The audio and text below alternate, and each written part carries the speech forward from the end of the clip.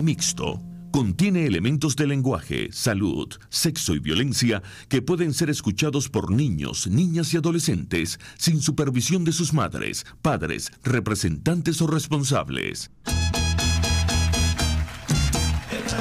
El radar está encendido en los barrios. Toma la radio para hacerse eco de los que no tienen voz, planteando problemas y soluciones. Es el radar de los barrios. Las comunidades se organizan más allá de los colores políticos, porque saben que la polarización es una trampa. El radar de los barrios, con las verdades que el gobierno evade y que otros ignoran. Comienza el radar de los barrios con Jesús Torrealba.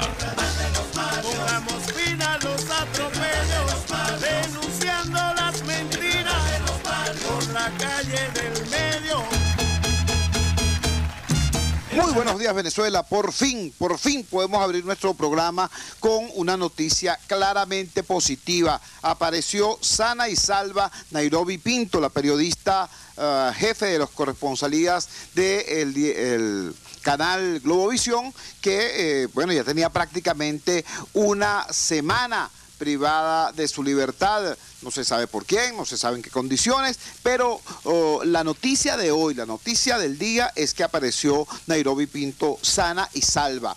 Ahora, por supuesto, una vez eh, eh, producido este hecho, una vez eh, esclarecido que está en libertad y que está con salud Nairobi Pinto, la pregunta pertinente es, bueno, ¿dónde estaba? ¿Quién la tenía? ¿Al amparo de qué circunstancias alguien puede tener una persona siete días este, sin hacer ninguna llamada a sus familiares ni requerir rescate? O sea, ¿qué hay detrás de todo esto? En todo caso, eh, para que nos hable de todos estos aspectos eh, previos y posteriores a la liberación de, de, Nairobi Pinto, tenemos en línea a Marcos Ruiz, secretario general del Sindicato Nacional de Trabajadores de, de la Prensa, organización sindical que dio una muy dura pelea durante estos siete días exigiendo la liberación de Nairobi Pinto. Marcos, gracias por atender nuestra llamada. Muy buenos días. Cuéntanos, ¿qué eh, se plantea? Bueno, ¿qué sabes tú en este momento de la liberación de Nairobi y qué se plantea a partir de este momento? Buenos días. Hola, buenos días, Jesús. Bueno, eh, la, esa batería de preguntas, además, todas oportunísimas, preguntas que el país entero tiene que estarse haciendo el día de hoy y que además tienen que tener respuesta, son las que nosotros esperamos tener la oportunidad de hacerle en breve al ministro de Interior y Justicia, eh, Miguel Rodríguez Torres, que ha convocado una rueda de prensa en la que además entendemos va a estar presente nuestra colega, nuestra amiga eh, Nairobi Pinto. Queremos ver qué explicación va a dar el 6CPC. Entendemos que no fue un rescate, sino una liberación. Eh, lo que se produjo en el caso de la compañera Nairobi, que reitero, cerca de la una, una y media de la mañana, fue eh, dejada, liberada, soltada en Cuba, muy cerca del hospital de Cuba. Allí eh, ya bien entrada la mañana, cerca de las 7 de la mañana, tuvo el primer contacto con un familiar.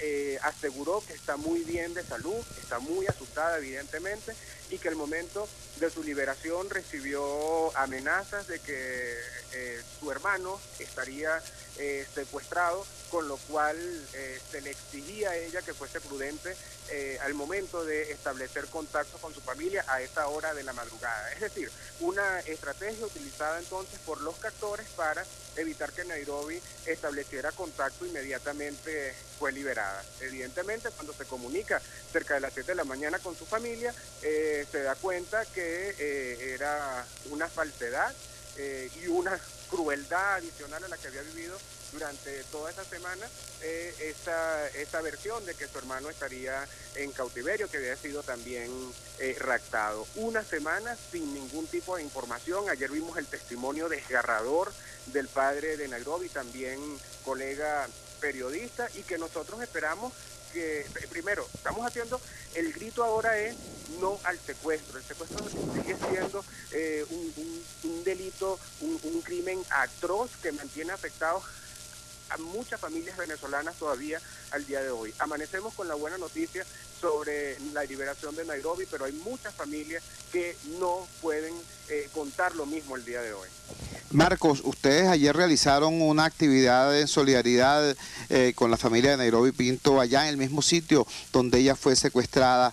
Eh, como tú y yo sabemos, eh, la familia y la misma Nairobi pueden estar en este momento sujetos a mucha presión, sobre todo al temor, pues si bien era incierta la información de que su hermano estaba secuestrado también, este, bueno, la sensación de vulnerabilidad de, la familia es extrema, este, y eso podría incidir pues en su eh, en lo que comuniquen o dejen de comunicar al país. Ahora, eh, ¿cuáles crees tú que puedan ser, digamos, las líneas de, de trabajo periodístico en relación a, este tema hacia el futuro. Te lo pregunto porque ya hay un caso, un lamentable precedente, el del general de brigada en situación de retiro de la Guardia Nacional, el general Lozada, que fue objeto de un secuestro, pasó dos semanas y tanto secuestrado, apareció por allá en la frontera y eh, a partir de ese momento, bueno, eh, se callaron todas las fuentes y eso quedó en el limbo del misterio. Y eh, bueno, eso efectivamente no le hace bien al país porque mantiene la opacidad y mantiene eh, por eso la incertidumbre. ¿Qué crees tú que pueda, que pueda ocurrir desde el punto de vista informativo con este caso? Fíjate, yo he tenido la, oportunidad de conversar varias veces con, con, el papá de Nairobi y si bien él hasta ahora eh, había sido muy discreto con cada una de las declaraciones, eh, que daba, que por cierto fueron muy pocas durante esta semana, él tiene absoluta conciencia de lo que el secuestro representa eh, para una vida, para una familia. Él, eh, además de ser periodista, ha sufrido durante estos días la atrocidad de tener a un familiar, a un hijo secuestrado, y creo que él estaría muy dispuesto en función de la verdad, de los testimonios que puede ofrecer eh, Nairobi a su familia, enviar mensajes claros al país sobre lo que pudo eh, haber ocurrido en este caso. Pero también los periodistas tenemos una enorme responsabilidad. Los periodistas, eh, si bien el día de hoy estamos celebrando la liberación de Nairobi, que por cierto abrió una misa de acción de gracias a las 6 de la tarde en la iglesia de la Quinquirá, donde justo hace una semana exactamente pedíamos su liberación, eh, los periodistas tienen que eh, convertirse en, eh, verdaderos contralores de, la, del CICPC, de las autoridades del ministerio en este caso. Deben explicarse, manejaron muchísimas hipótesis, ninguna de las cuales puede estar descartada porque durante una semana no hubo ni una sola comunicación con la familia de Nairobi, con lo cual el móvil económico queda absolutamente eh, descartado. Aquí se habló incluso de un móvil eh, político, aquí se habló incluso de un móvil eh, pasional. Yo creo que hacer conjeturas en este momento es sumamente delicado, no obstante, creo que, y así sé que existe el compromiso de hacerlo, los periodistas sabrán dejar o poner en, en evidencia tanto las verdaderas razones de, este crimen, porque realmente un secuestro es un crimen, y en caso de que las autoridades muestren eh, cierta complicidad, eh, aumentando la opacidad con la que se maneja, por cierto, este gobierno eh, en muchísimas áreas eh, creo que entonces también hay eh, disposición para que así sea y para que el país entero pueda entonces sacar una conclusión en torno a la participación, en este caso, de las autoridades del Ministerio de Interior y Justicia, el CICPC o alguna otra eh, o algún otro organismo policial o militar del Estado venezolano. Muchísimas gracias a Marcos Ruiz, secretario general del Sindicato Nacional de Trabajadores de la Prensa, dándonos mayores detalles sobre la liberación de Nairobi Pinto y sobre lo que a su modo de ver deberían ser las líneas de trabajo de investigación del periodismo venezolano sobre este caso. Tenemos ahora en línea a otro comunicador social que también está trabajando en el área de los valles del Tuy, todo hay que decirlo, hay noticias malas, buenas, regulares. Hoy abrimos con una noticia muy buena, la liberación de Nairobi Pinto y también ahora vamos a dar una noticia que merece ser saludada. Nosotros informamos en días pasados sobre la invasión que se produjo en el urbanismo Ciudad Betania, en Ocumare del Tuy, una cosa que tuvo oh, ribetes eh, realmente preocupantes. Eh, muchos de esos eh, apartamentos estaban ya asignados y estaban ya ocupados por familias de funcionarios del 6CPC, de la Guardia Nacional Bolivariana, de la Policía Nacional Bolivariana, y sin embargo tuvieron que desocupar sus viviendas eh, ceder esos espacios a los invasores porque los respectivos cuerpos de seguridad les dijeron a las familias que no estaban en condiciones de garantizar ni su seguridad ni su vida. Este, en la madrugada de hoy se produjo un operativo para desalojar a los invasores y dejemos que sea Rafael Bandres del de, programa La Gran Ciudad y también del portal lagranciudad.net, un grupo de periodistas que trabajan en los Valles del Tuy, que nos dé más detalles sobre esto. Rafael, muchísimas gracias por atender nuestro contacto. Cuéntanos, ¿qué es lo que está pasando en Ciudad Betania eh, desde esta madrugada? Buenos días.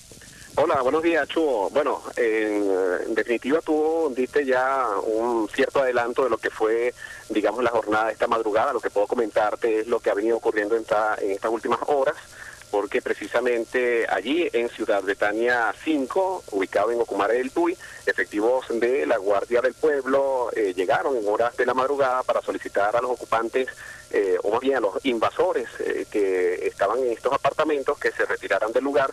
Ellos mostraron una orden de desalojo importante. Más temprano hablamos con el alcalde del municipio Tomás Lander, Julio César Marcano, quien nos comentó que allí no hubo heridos, no hubo eh, agresiones, por el contrario, eh, fue un desalojo eh, con completa normalidad, en completa calma. Eh, los efectivos de la Guardia llegaron a los apartamentos, le pidieron a la gente que desalojara el lugar, los ayudaron incluso a retirar sus pertenencias y por lo menos a esta, a esta hora todavía queda un grupo de personas de los que habían invadido a las afueras con colchones, con enseres, con eh, ropa, incluso con sus niños, eh, esperando a que las autoridades del Ministerio de Vivienda y de Corpo Miranda pues les dé indicaciones de lo que va a hacer ahora su futuro porque recordemos que eh, estos apartamentos apartamentos fueron tomados a la fuerza.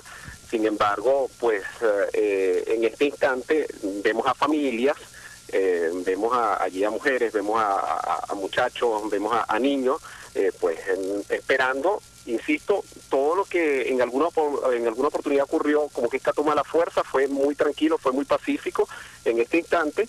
Y bueno, eh, todavía la espera de qué es lo que se va a hacer finalmente con esos apartamentos. El alcalde eh, le pidió a, las personas que invadieron, igual que a todos los habitantes de los valles del Tuy, a quienes también esperan sus viviendas, que tuvieran calma, que tuvieran paciencia. Él eh, destacó ah, en declaraciones que dio a nuestro equipo en nuestro programa de radio que él nunca ha estado de acuerdo con las invasiones y le pidió a la gente que eh, participara en próximos censos que se iban a estar realizando y que esperaran adjudicación porque eso, según dijo, es lo legal, lo ilegal es la invasión.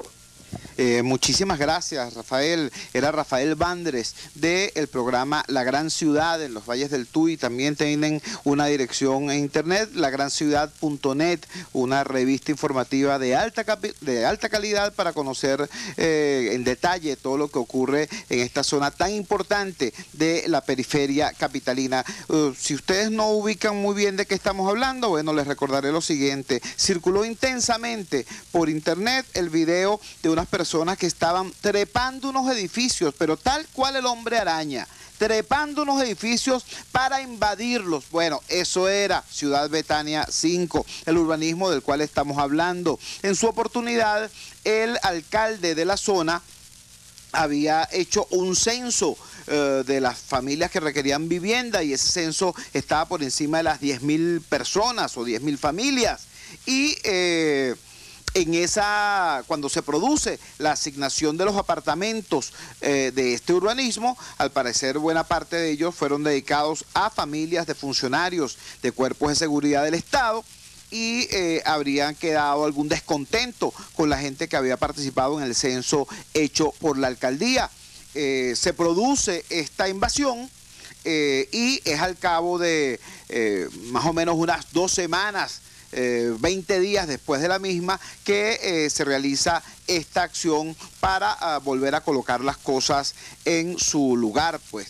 Eh, repito entonces, eh, nosotros no estamos a favor de los invasores, no estamos a favor de los invadidos, nosotros estamos a favor del pueblo. Y es una cosa lamentable, lamentable que con tanto dinero y con tanto poder esta situación habitacional haya terminado degenerando en esto, en, una, ah, en, un enfrentamiento de pueblo contra pueblo por unos cuantos metros cuadrados de vivienda construida. Eso fue lo que pasó allá en los valles del Tuy. Repetimos entonces, esta es una noticia también eh, de alguna forma positiva porque cuando se reduce la anarquía se incrementa el orden y es posible entonces eh, la resolución de los conflictos en el marco de la paz, en el marco de lo que la ley y la constitución. Vamos a nuestra primera pausa comercial y ya regresamos con muchísimo más del radar de los barrios.